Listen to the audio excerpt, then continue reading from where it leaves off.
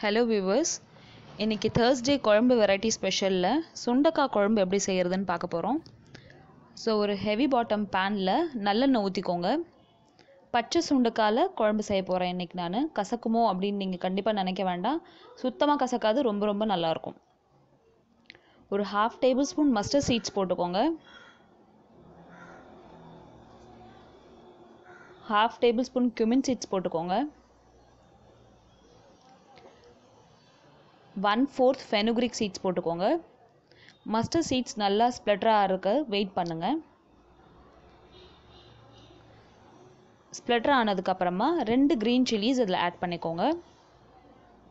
இப்போ பார்த்தீங்கன்னா இந்த டிஷ்க்கு தேவையான பொருட்கள் பார்த்தீங்கன்னா நான் பத்துலேருந்து பதினஞ்சு சின்ன வெங்காயம் இங்கே நறுக்கி வச்சுருக்கேன். சின்ன வெங்காயம் இல்லைன்னா நீங்கள் பெரிய வெங்காயம் வச்சுக்கலாம். ரெண்டு தக்காளி கட் பண்ணி வச்சுருக்கேன். பச்சை சுண்டக்காய் தண்ணியில் போட்டு வச்சுருக்கேன். இந்த சுண்டக்காவை நம்ம க்ரஷ் பண்ணிவிட்டு இதோட சீட்ஸை வெளியே எடுத்துகிட்டு யூஸ் பண்ண போகிறோம் புளி வந்து சோக் பண்ணி வச்சுருக்கேன். ஒரு நாலுலேருந்து ஆறு கார்லிக்ஸ் கொஞ்சம் கறி லீவ்ஸ் அப்புறம் கொஞ்சம் கோரியண்டர் லீவ்ஸ் இதுக்கப்புறம் இதில் curry leaves and coriander leaves add பண்ணிக்கோங்க.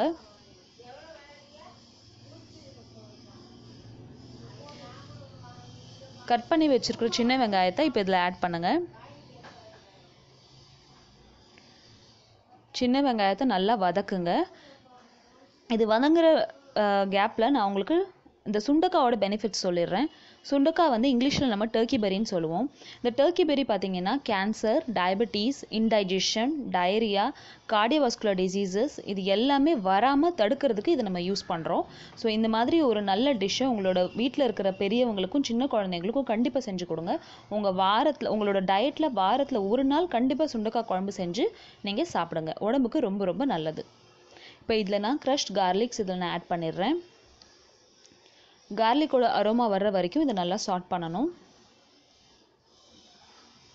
மீடியம் ஃப்ளேமில் வச்சு நல்லா இதை டூ டு த்ரீ மினிட்ஸ் நல்லா சாட் பண்ணுங்கள் கார்லிக்கோட வாசனை வரணும். அதுக்கப்புறமா தான் இதில் நீங்கள் தக்காளி ஆட் பண்ணணும். இப்போ இதில் தக்காளி ஆட் பண்ணிக்கலாம். தக்காளி வெங்காயம் கருவேப்பிலை கொத்தமல்லி எல்லாம் போட்டு நல்லா வதக்குங்க. இது வதங்குற கேப்பில் நீங்கள் என்ன பண்ணுங்கள் இந்த டர்க்கி பெரிஸ் எல்லாம் எடுத்துகிட்டு க்ரஷ் பண்ணிக்கோங்க. இதை நீங்கள் இந்த சின்ன உரலில் போட்டு க்ரஷ் பண்ணிக்கலாம். க்ரஷ் பண்ண உடனே அதுக்குள்ளே இருக்கிற சீட்ஸ்லாம் வெளியே வந்துடும் ஸோ இந்த சீட்ஸ் வெளியே வந்ததுக்கப்புறமா இதை என்ன பண்ணுங்கள் தண்ணியில் போட்டுருங்க. தண்ணியில் போட்டிங்கன்னா சுண்டக்காய் தனியாக சீட்ஸ் தனியாக ஆயிரும். பாருங்கள் இந்த மாதிரி ஆயிரும். ஸோ இப்போ நீங்கள் இந்த சீட்ஸ் இல்லாமல் வெறும் அந்த சுண்டக்காய் க்ரஷ் ஆகிருக்கு இல்லையா அந்த ஹாஃப் க்ரஷ்ட் சுண்டக்காவை அப்படியே வெளியே எடுத்துருங்க. வெளியே எடுத்து ட்ரை அவுட் பண்ணி வச்சுக்கோங்க. இந்த மாதிரி பாருங்கள் இப்போ இந்த க்ரஷ்டு சுண்டக்காய் இப்படி தான் இருக்கும். சீட்ஸ் இல்லாமல் இந்த மாதிரி இருக்கும். இதை நீங்கள் இந்த மாதிரி எடுத்து ரெடி பண்ணி வச்சுக்கோங்க. இப்போ இந்த வெங்காயம் தக்காளி நல்லா வதங்கிருச்சான்னு செக் பண்ணிக்கோங்க.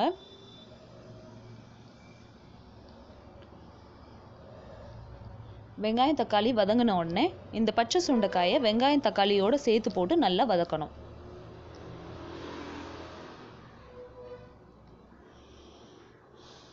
ஒரு two to three minutes medium ஃப்ளேமில் இதை நல்லா வதங்க விடுங்க.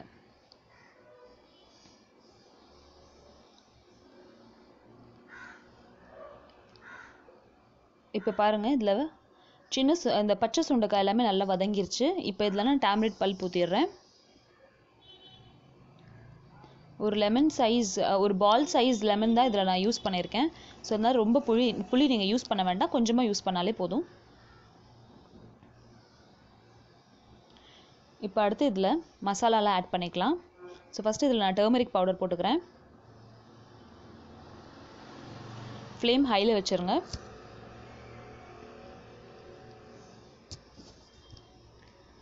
Half table spoon coriander powder போட்டுக்கோங்க.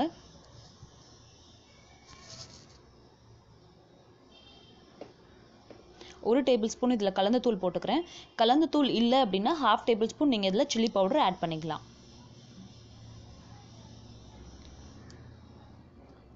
இந்த டிஷ்க்கு தேவையான சால்ட் ஆட் பண்ணிக்கோங்க.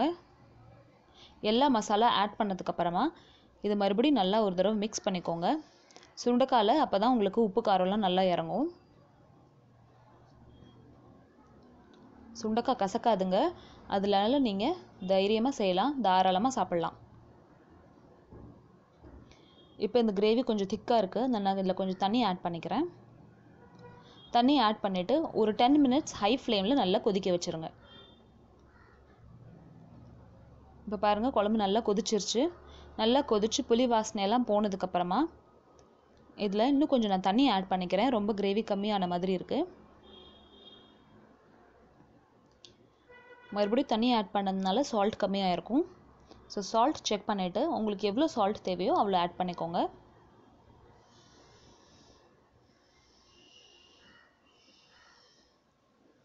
ஹாஃப் டீஸ்பூன் இதில் நான் பெப்பர் பவுடர் ஆட் பண்ணுறேன் உங்களுக்கு காரம் வேண்டாம் அப்படின்னா நீங்கள் பெப்பர் பவுடர் ஆட் பண்ண வேண்டாம்.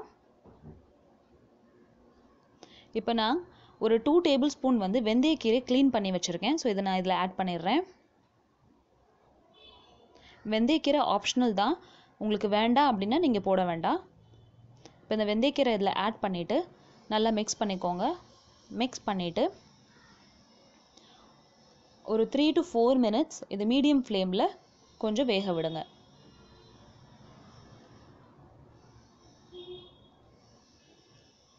த்ரீ ஃபோர் மினிட்ஸ்க்கு அப்புறம் பார்த்தீங்கன்னா ஃப்ளேம் ஹையில் வச்சுக்கோங்க. இங்கே பாருங்கள் குழம்பு நல்லா கொதிச்சிருச்சு.